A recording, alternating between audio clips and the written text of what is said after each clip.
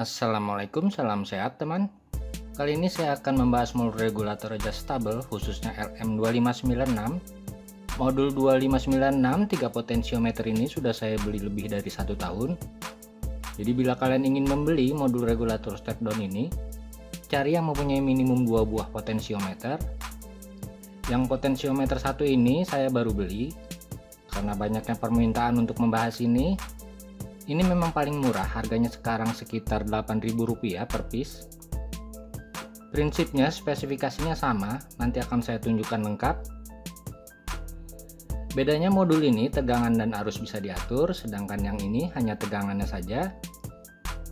Satu itu keuntungan modul ini. Keuntungan kedua, modul ini sudah ada proteksi tegangan terbalik dengan menggunakan dioda tentunya. Kalian lihat, ini dioda proteksi tegangan terbalik jadi bila kalian memberi tegangan terbalik tidak akan rusak. Tapi kalau yang ini tidak ada, ini salah satu yang membuat sering rusak karena saya sendiri sering terbalik memberi tegangan satu input.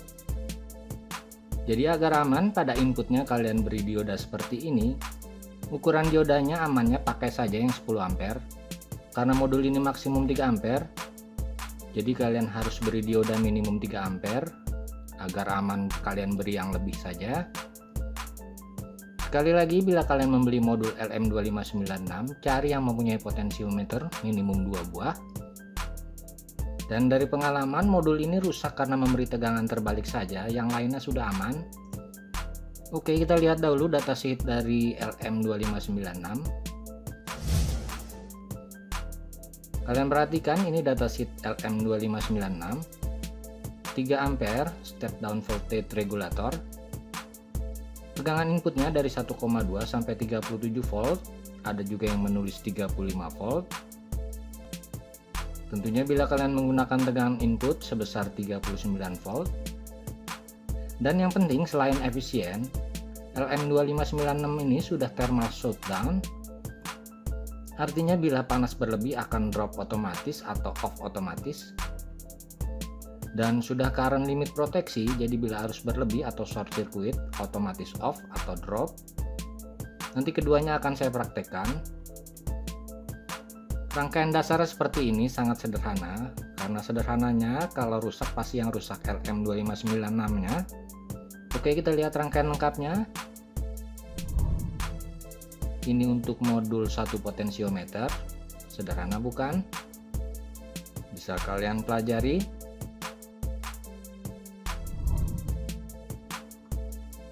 dan yang ini yang tiga potensiometer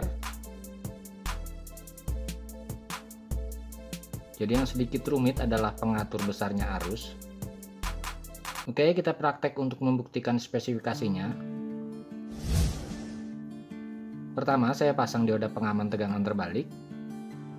Perhatikan anoda katodanya atau gelang pada diodanya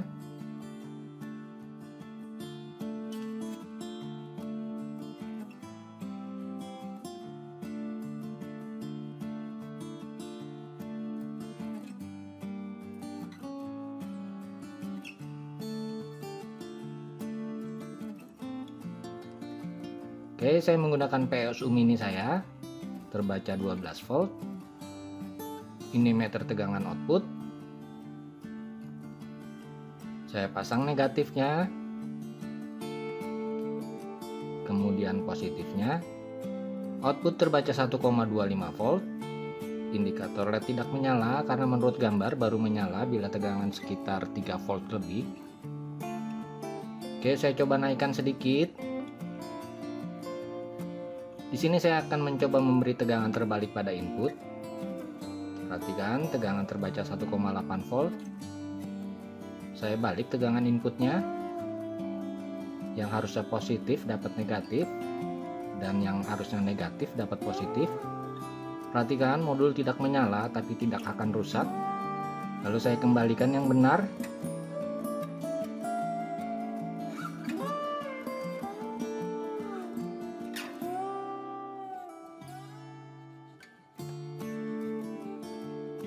dan tegangan terbaca kembali.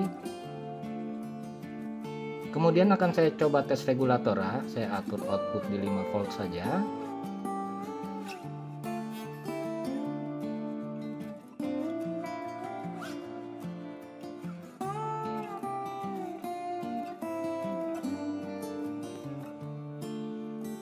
Oke, outputnya sudah 5 volt. Perhatikan tegangan outputnya, tegangan input akan saya turunkan output terbaca tetap. Saya coba naikkan.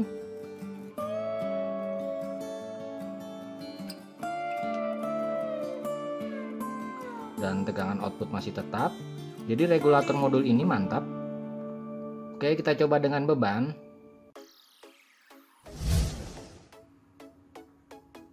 Dan seperti biasa saya berpatokan pada suhu yang terjadi pada LM saya jepit saja sensornya. Ini bebannya ini pengukur arus. Saya perlihatkan tegangan input switching 10 ampere saya.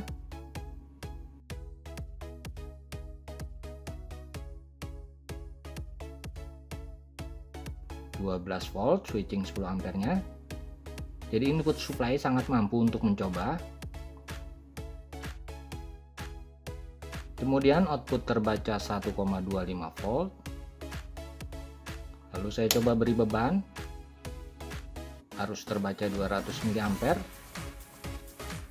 kemudian saya atur saja sampai 500 mA biasa dalam percobaan saya lakukan secara bertahap Perhatikan suhu awalnya. Oke, akan saya atur arus di 500 mA dan pada tegangan berapa.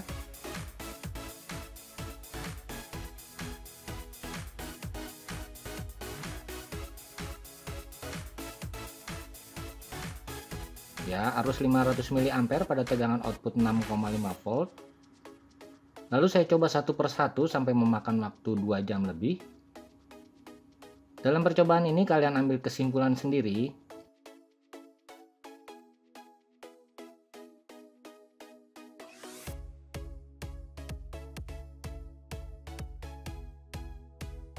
Jadi pada saat arus 1,5 ampere dan suhu 67 derajat celcius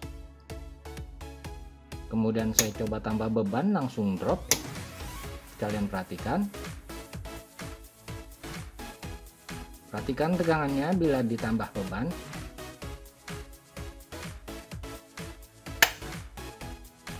Beban langsung drop. Ini modulnya, inputnya saya yakin sanggup. Lalu saya coba turunkan dahulu suhunya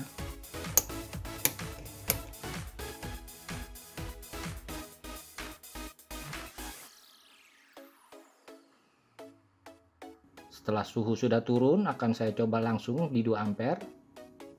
1, 2, 3, 4. Sekitar 2 ampere. Benar modulnya. Lalu saya diamkan kembali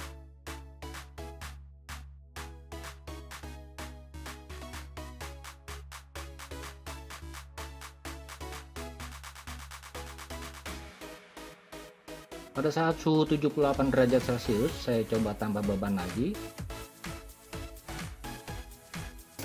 Dan langsung drop lagi. Dan saya ulang dinginkan kembali. Lalu saya coba langsung 5 agar arusnya di atas 2 ampere.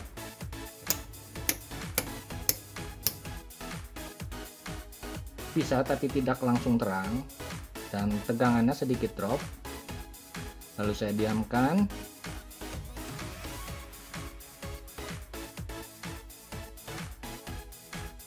Dan tidak lama tegangan kembali naik. Ingat untuk hal ini silahkan kalian ambil kesimpulan sendiri. Jujur saya tidak tahu alasannya kenapa. Lalu saya diamkan kembali sekitar satu jam. Suhu sudah mencapai 90 derajat tapi masih oke. Kemudian saya dinginkan lagi Perhatikan akan saya coba lagi. Nyala, nyala, nyala, nyala, nyala. Di 2 ampere lebih. Masih oke. Okay.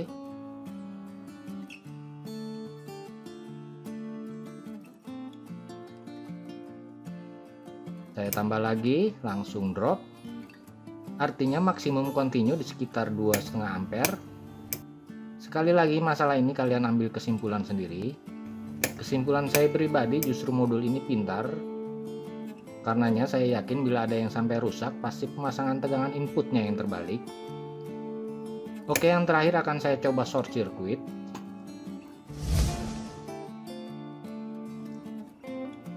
Ini negatifnya. Ini positifnya perhatikan pada saat saya short bulb akan off arus terbaca indikator led modul off. Saya short.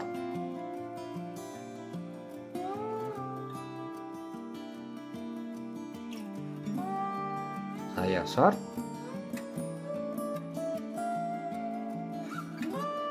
Saya ulang short.